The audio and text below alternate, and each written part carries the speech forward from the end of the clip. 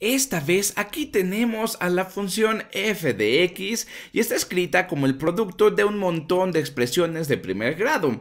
También podemos ver esto como un polinomio si, bueno, multiplicáramos cada uno de estos productos y escribiéramos todo esto en una forma más tradicional. Pero lo que está padre aquí es que en esta forma que estamos viendo podemos obtener y sacar de una manera muy rápida los ceros o las raíces del polinomio, lo cual es bastante fácil de obtener. Es más, déjame hacerlo. Recuerda que aquí los ceros son los valores de x que hacen que nuestra función sea igual a cero. Y estos van a ser, déjame ponerlo así, los ceros o las raíces van a ser, bueno, x igual a 2, x igual a menos 4, porque observa, si ponemos aquí el valor de menos 4, esto se hace 0, y 0 por lo que sea va a ser 0 x igual a, bueno, menos 5, recuerda que si haces cualquiera de estas expresiones 0, entonces toda la función va a valer 0, porque 0 por cualquier cosa es 0. x igual a 1 y por último x igual a 9. De lujo. Ahora, como hemos dicho en varios videos, estos valores de x, cuando los introduces en la función, obtendrás, bueno, f de 2 igual a 0, f de menos 4 igual a 0, etc. Lo que significa que también son maneras para encontrar nuestras intersecciones con el eje x. ¿A qué me refiero? Bueno, para eso, ¿qué te parece si me dejas dibujar por aquí unos ejes voy a dibujar un gran eje y bueno, por acá tengo que mi valor más grande es 9 y mi valor más pequeño es menos 5, así que voy a poner por aquí, más o menos me van a quedar así. Déjame poner que estos son mis ejes, estos son mis ejes, por aquí tengo al eje Y y por aquí tengo al eje X. Y bueno, en el eje X vamos desde 1, 2, 3, 4, 5, 6, 7, 8, 9, 10 y bueno, en el eje X para atrás voy a poner menos 1, menos 2, menos 3, menos 4, menos 5. Ok, entonces ahora vamos a graficar esto. Cuando x vale 2, ya sabemos que f de 2 es 0. Si pones 2 en esa expresión, bueno, esto de x es 0 y 0 por lo que sea es 0. Entonces, déjame ponerlo con este color. Cuando x vale 2, f de 2 toma el valor de 0. Y eso quiere decir que también el punto 2,0 estará en la gráfica de y igual a f de x. Entonces el punto 2, 1, 2,0, este punto de aquí va a estar en la gráfica que buscamos. Nota, si pones x igual a 2, la expresión, toda esta expresión se hace igual a 0 y también el punto 0,2, esta coordenada que tenemos aquí, definirá una de nuestras intersecciones con el eje x. Bien, hagamos los otros. Cuando x vale menos 4, también me pasa lo mismo menos 1, menos 2, menos 3, menos 4. Aquí tengo otra intersección con el eje X. Déjame usar el color rosa. Aquí tengo este de aquí, cuando X vale menos 5, así que lo voy a poner por aquí. Cuando X vale menos 5, también voy a utilizar este color, este color verde, cuando X vale 1, cuando X vale 1. Y por último voy a usar este color morado, cuando X vale 9. 1, 2, 3, 4, 5, 6, 7, 8, 9. De lujo. Aquí está otra intersección con el eje X. Ahora, no voy a dibujar completamente la gráfica de esta función f de x, pero lo que sí quiero dejar muy claro es que estos puntos donde hay una intersección con el eje x son los únicos puntos donde hay intersecciones con el eje x es decir, los ceros de mi función, los ceros reales. Y es que ellos definen todos los puntos donde voy a tener una intersección en el eje X, ya que, piénsalo, si existiera un punto de intersección en el eje X que no fuera un cero, bueno, pues tendría que ser un 0. No hay de otra, ya que la función en ese punto tomaría el valor de 0. Entonces, ahora lo que quiero ver es si la función se va a mantener positiva o negativa entre dos puntos que son ceros. Es decir, si estamos arriba del eje X o abajo del eje X. Vamos a probarlo. Y para eso, ¿qué te parece si nos fijamos en un valor que esté entre menos 4 y 1?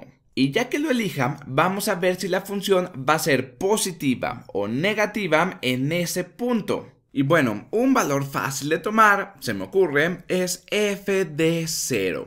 Así que vamos a pensar qué es lo que pasa en mi función solamente en los signos cuando x vale 0. Déjame ponerlo así.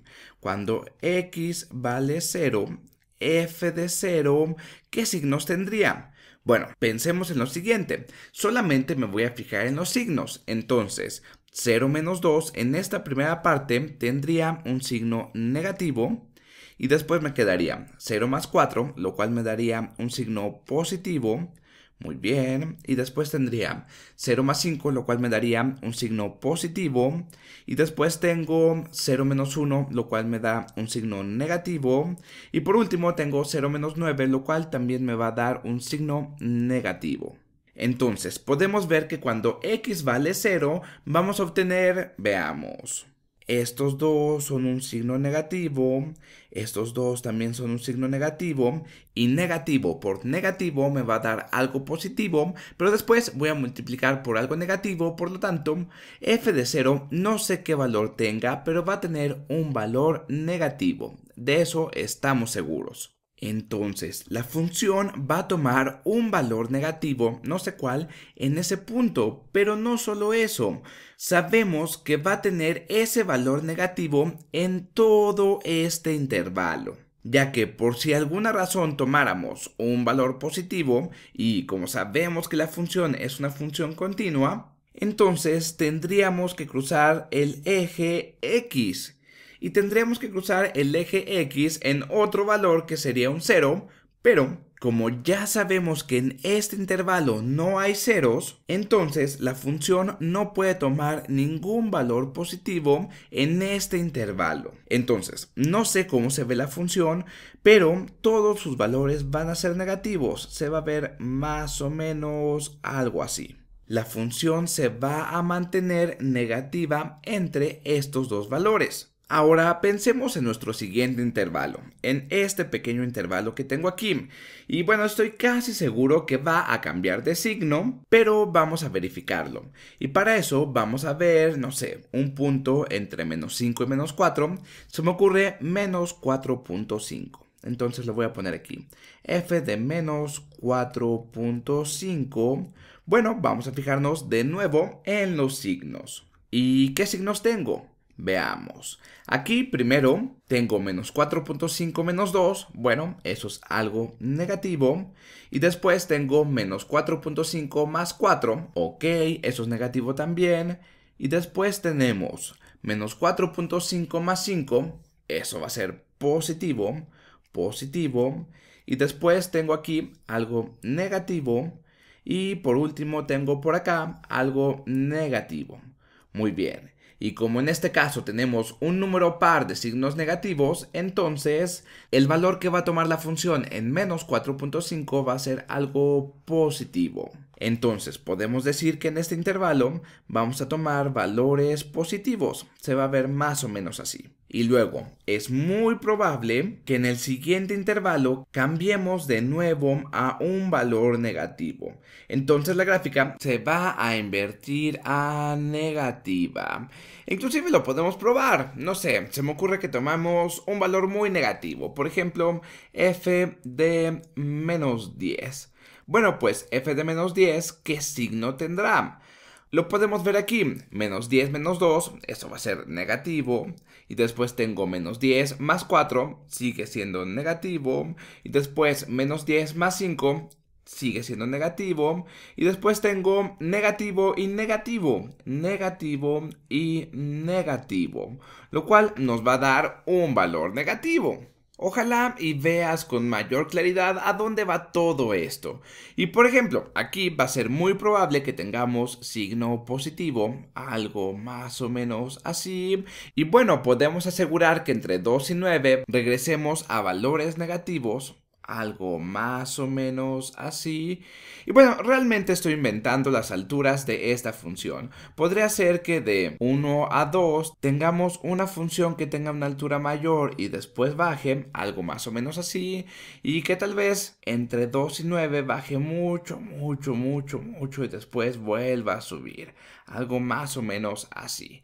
No lo sé, realmente estoy inventando. De nuevo, la gráfica no forzosamente se va a ver exactamente así. Pero lo importante aquí son los cambios de signo y por lo tanto después del 9 podemos ver que esta gráfica va a tomar valores positivos. Y es más, podemos comprobarlo. Vamos a verificarlo pensando en un valor muy positivo. Se me ocurre f de 10.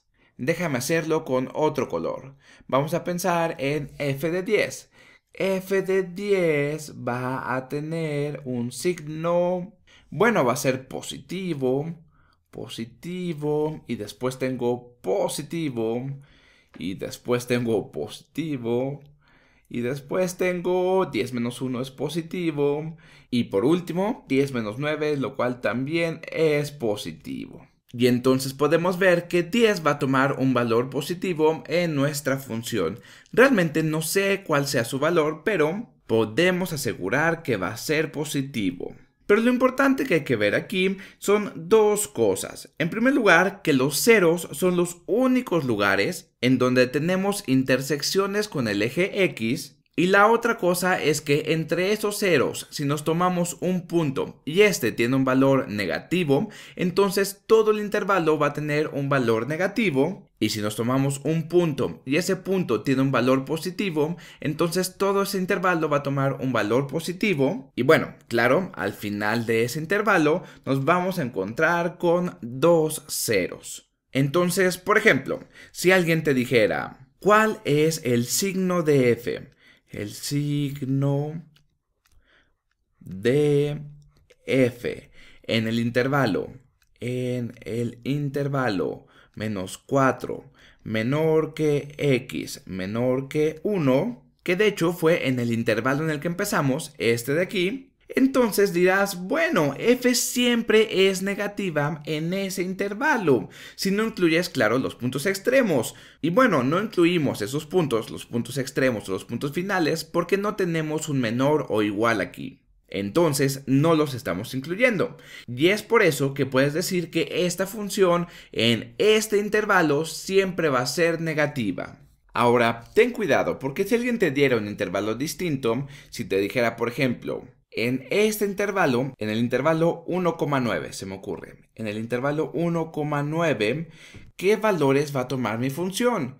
Y bueno, aquí hay que tener cuidado porque estamos pasando por otro cero, lo que quiere decir que en este intervalo mi función tomaría valores positivos o cero o negativos. Ojo, la clave aquí es que entre dos raíces sin incluirlas y sabes el valor que toma un punto entre esas dos raíces, ya sea negativo o positivo, entonces la función siempre será positiva o negativa en todo ese intervalo. Va a ser el signo a lo largo de ese intervalo sin incluir, claro, los puntos extremos.